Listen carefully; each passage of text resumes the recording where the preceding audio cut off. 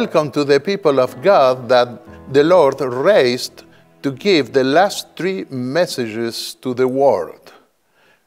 Just before the judgments of God fall upon the world. In harmony with other prophecies of the end, the message of the three angels of Revelation 14 places us also in a universal and final context. The chronological and the global context of its content is set at the time of the second coming of Christ. They are the last messages that God gives so that the whole earth knows that the time to give the final blow to the kingdom of evil has come. Those who proclaim the messages are represented by the three angels, proving that those messages have a divine and heavenly origin. We must prepare ourselves to give this message because this world will not pass away without a final confrontation. Revelation 13, verses 14 and to 18, in comparison with Revelation 14, verses 9 to 11, the last third message. The glory of God will fill the earth in such a way that all can behold it, though unfortunately most people will remain unconverted. Revelation 18 1 to 5. For this reason, men and all their works will be destroyed. Revelation 21 1, 2 Peter 3 7, verses 10 to 13. But when will this happen? Matthew 24, verses 1 to 3. Can men know exactly when the time of the end will start? Yes, of course, we find this in Daniel 12, verse 4, and several other prophecies of the book of Daniel in the Old Testament. For the Lord God does nothing without revealing his secret to his servants, the prophets, said Prophet Amos, the prophet Amos, chapter 3, verse 7. Before destroying the antediluvian world, God sent Noah to announce that event for 120 years. Before destroying Sodom and Gomorrah, he sent a message given by angels through Lot before destroying other ancient cities, he announced it through his prophets, even the destruction of all Jerusalem. Before destroying the world, he will have a people who will announce it before all the earth. Revelation 14, verses 6 to 11. Will the Lord not allow enough time for this message to reach all the corners of the earth? Matthew 24, verse 14. The first angel's message is addressed to a secularized world which has lost the fear of God. That world began to take shape through the atheistic French Revolution at the end of the 18th century. Mankind had been threatened for more than a millennium with the teaching of a terrible eternal burning torment, an idea which originally came from paganism and is not found in the Bible. It was then that Darwin appeared with his theory on the origin of species. We did not come from a divine creation, he said, but from an evolutionary process our nearest ancestor would have been a monkey or gorilla. Who could render an account to a gorilla for the things he had done in this life? From that time, millions went to the other extreme and lost even a healthy fear of God. For this reason, the first angel's message begins by saying, Fear God and give him glory because the hour of his judgment has come. Worship the one who made the heavens and the earth and the sea and the springs of waters. We find this message in Revelation 14, verses 6 and 7. It was then that the Seventh day Adventist Church was born. God raised our church to counteract the secular atheism which denies his authorship of this creation. Our pioneers also grasped, guided by God, that secular skepticism was caused by forgetting the day which commemorates creation, the seven day Sabbath. They saw that the fear of God is related to the importance of keeping the divine commandments before the reality of the judgment of God. Says wise Solomon in his book Ecclesiastes Fear God and keep his commandments, for God will bring every deed into judgment along with every hidden thing, whether good or evil. Ecclesiastes 12, verse 13 and 14. Let us pay attention to an important fact. The first angel's message of Revelation 14 is referred to as another angel and not as a first angel. We know that it deals with the first of the three angels who proclaim the last messages that are to be given to the world because the following two are mentioned as second and third angels, Revelation 14, verse 8 and 9. But why as another, why would he mention him as another angel instead of first?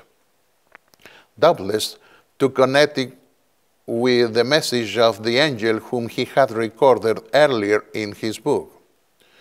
The former angel seen by John in vision was the one who blasted the seventh trumpet, Revelation 11, verse 15. The trumpets are judgments or punishments of God which fall upon the world, Revelation 8 and 9. The seven trumpets corresponds to the final judgment, Revelation 11, verses 15 and 19. During that last trumpet, the Father and the Son assume the kingdoms of this world and confront the nations which rebelled against him. It is the time of judging the dead and to give reward to the faithful and to destroy those who destroy the earth. Verse 18. All this is given in the context of a door that is open in the temple of heaven, which leads to the most holy place, the place of the throne of God and of the judgment. Your wrath has come, says the angel who blasts the seventh trumpet. That is, the time for judgment, Revelation 11 18. The hour of his judgment has come, Revelation 14 7. Repeats the first angel of Revelation 14. The elders of the heavenly court kneel and worship God because he assumes his authority over the kingdom of this world. Revelation 11 16. The message of the first angel likewise claims to worship the worship of the Creator to all the dwellers of the earth, because the hour of his judgment has come. In other words, the messages of these two angels of the seventh uh, trumpet and the first of Revelation 14 are complementary and correspond to the time of the end. On the other hand, the three angelic messages form a compact and unified whole. All of them are related to the message of judgment of the former angel. The third angel warns all who worship the Antichrist, represented by a counterfeit earthly creature, that they will suffer the last place in which the wrath of God is consummated. We find this in Revelation 14, 15, and 16. It is the day of your wrath, says the angel of the seventh trumpet, Revelation 11, 18. The fall of Babylon of the second angel's message is also linked to the destruction of the kingdoms of this world when the Lord and his Christ, or anointed king, take the kingdoms of the world during the seventh trumpet. At that time, the door to the most holy place of the temple is open, and the Ark of the Covenant, which contains the Ten Commandments, is seen. Those who obey the messages of the three angels keep the commandments of God in agreement with the heavenly vision, Revelation 14:12. Let us consider the second angel's message. It is addressed now to an apostate religious world which has abandoned the law of God and has fallen in the final corruption which requires the intervention of God to destroy this world forever. That message is expressed this way Fallen, fallen is Babylon the Great, which made all the nations drink the maddening wine of her adulteries. Revelation 14, verse 8. Babylon is a harlot who represents the apostate church of Rome. Her prostitution is expressed in her abominable idolatry in, and in her union of the, with the governments of this world. Revelation 17 and Ephesians 5, uh, we can read the symbol of a woman that represents the church. And in the case of the harlot woman, her name means confusion and reminds us of the history of the Tower of Babel, which illustrated the manner in which men tried to emancipate themselves from God. The world was still young and it had not yet ripened for the final harvest. There, God confused their tongues, and the coalition to build the tower was scattered.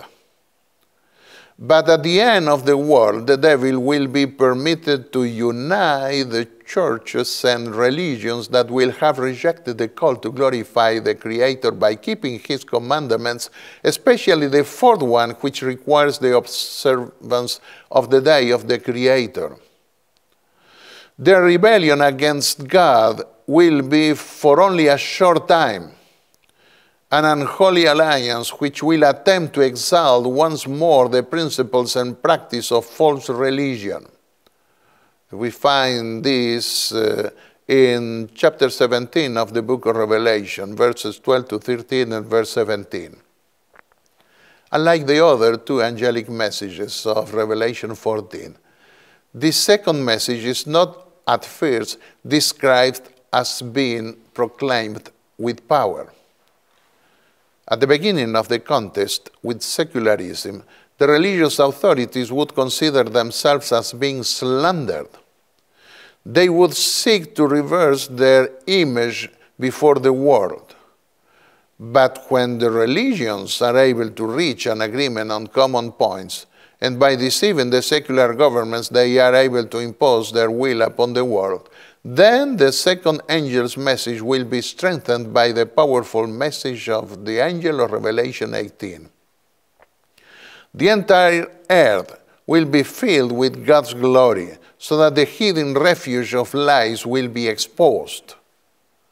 Uh, we can read Isaiah 28, verses 16 and 17, especially in connection with that kind of refuge of lies that uh, usually take place in this world. We may see also the inner corruption of Rome and of, of all the religions that unite with her in this refuge of uh, corruption or sin or, or of lie.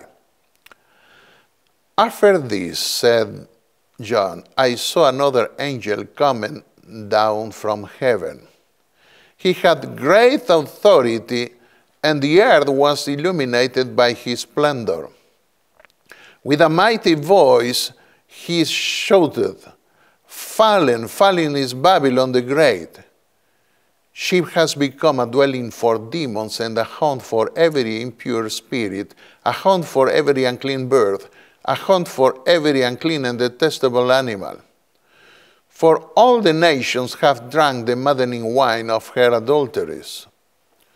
The kings of the earth committed adultery with her, and the merchants of the earth grew rich from her excessive luxuries. Revelation 18, verses 1 to 3. The Babylonian union that leads to the grand final apostasy of the world will be reached through deception. The miraculous power of the demons succeeds in tricking the entire world into uniting under the rebellious banner, Revelation 16, verses 13 and 14. The corruption that attempts to conceal itself under the title of Holy See cannot be concealed any longer. Instead of blasphemously calling the haughty prince Holy Father, as the dwellers of the earth do, God calls him man of sin and warns that he will destroy him with the brightness of his coming. 2 Thessalonians chapter 2 verses 7 and 8. The rat line, a common expression that was employed to, to refer to those who were escaping the courts of Europe and found refuge in the Vatican. The rat line through which so many murderers, robbers, and moral abusers were able to find refuge will no longer serve as a shield against civil or religious righteousness. His filthiness will come to light, and his moral and demonic corruption will be denounced together with the following pathetic call Come out of her, my people so that you will not share in her sins, so that you will not receive any of her plagues.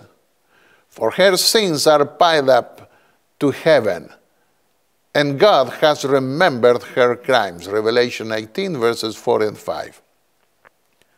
Are we not already living in that final stage of modern Babylon? Are not the churches and religions uniting around common programs and doctrines?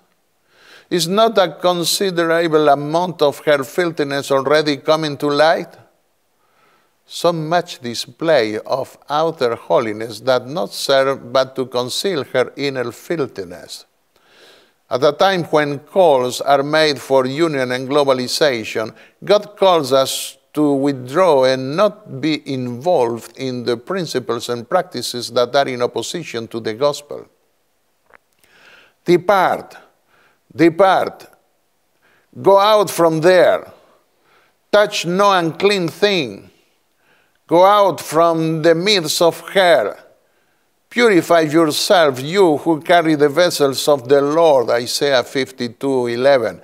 And we find something similar in the New Testament in the second epistle to the Corinthians, chapter 6, verse 14 to 17.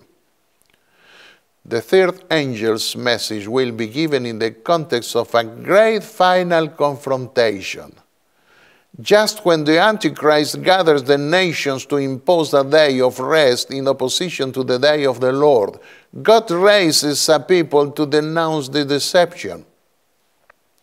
On the one hand, we have the threat of the Antichrist, supported by the nations consisting of death by uh, starvation they will not be permitted to buy or sell unless they accept the mark of his authority.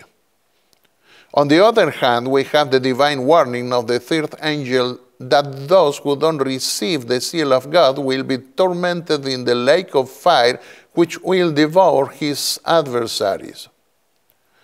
The seal of God, as already seen in another lesson, is in his law, specifically in the fourth commandment, which ordains acknowledgement of God as creator by keeping his day, the weekly seven day Sabbath. What a tremendous message has God entrusted us to give to the world. He wants to save many from secularist deception and from an apostate religion who honors him with the lips but not with the heart. The proof is that neither of the two extremes keep his fourth commandment. The Apostle John declared that the one who says that he loves God and does not keep his commandments is a liar. For this reason, they will be destroyed. Nothing that refuses to honor God by keeping his commandments will deserve to live forever. The purpose of our creation is to glorify God for having created us. This is possible in spite of being sinners, because the price of our ingratitude was paid at the cross, and through it we can obtain forgiveness. Let us come together to the court of heaven, praising the Creator and the Redeemer, for the marvelous work he has done in us and for our redemption through his blood.